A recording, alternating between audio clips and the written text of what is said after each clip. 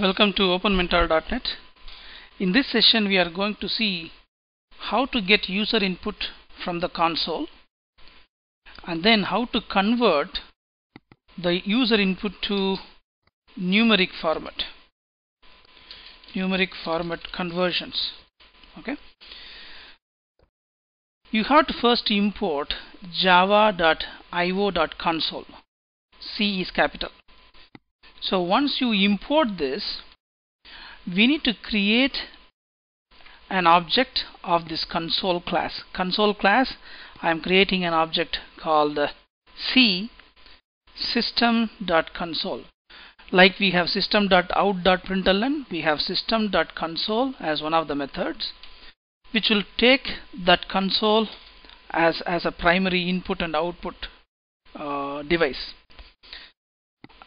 it says type an integer then to read a line from the console you need to say c.readLine this returns a string which is read as a line the number of characters and then finally ended by your carriage return or the enter key. Then I just print that value. Now let us go ahead and then compile this. So Java Java 18 it says type an integer the cursor is waiting here to get the user's input. Now I'm typing 134. It got it. Okay. Now let me execute it again. This time I'm going to give a string. Now I say though it is asking for integer, I type hello. It treats it as a string. So whether you type 134 as a number or HELLO as a string, it doesn't matter for the console it treats everything as a string. So your output or this returns a string so I store it in the string. Now I want to get an integer and then do some arithmetic operations on it. Suppose I try to do like this. Let us do one thing. I say uh, system dot out dot println then I got this s plus 10 let us try to do what happens. I'm trying to compile this. I'm trying to do an arithmetic operation for the number that I enter through this console. I compile it. I enter. Now I type 12 it says 12 10 what I was expecting is 12 plus 10 as 22 so look at this statement. This says yes plus 10 I entered 12 my intention was 12 plus 10 to get 22 but when it printed over here it printed 1210 this means it treated s as a string. This plus acted as a concatenation operator.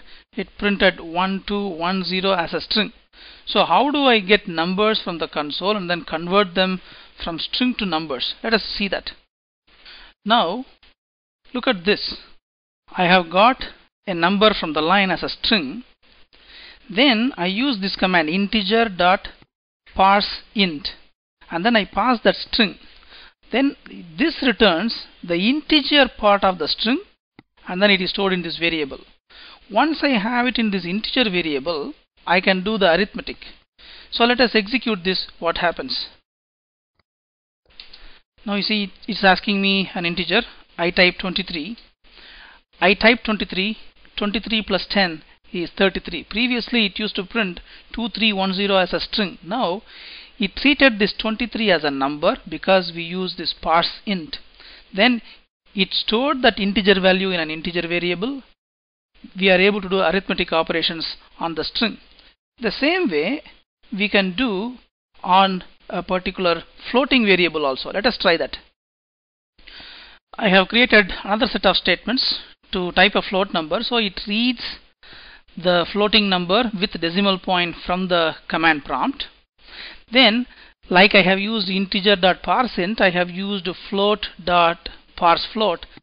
P is lowercase, F is uppercase. Then I pass that string. Then to make sure that my arithmetic operation is correct, I get that F. Then I'm adding 100 with that.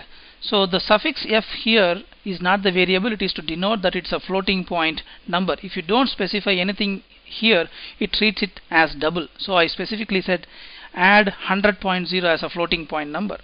Let us compile this and then execute it. So first it is asking me an integer. I type 34. It treats 34 as a number and then adds 10 to that. Now I I say 23.567 when I got this floating point number with decimal point I added 100 to that so it becomes 123.567 so you can use parse long etc like we have used integer and float. You can also use the parse functions for other long and double and other variable types of integer or numeric types also. So in this session we have seen how to get user input through console how to convert those strings to integers or floating point numbers and then do arithmetic operations. Thank you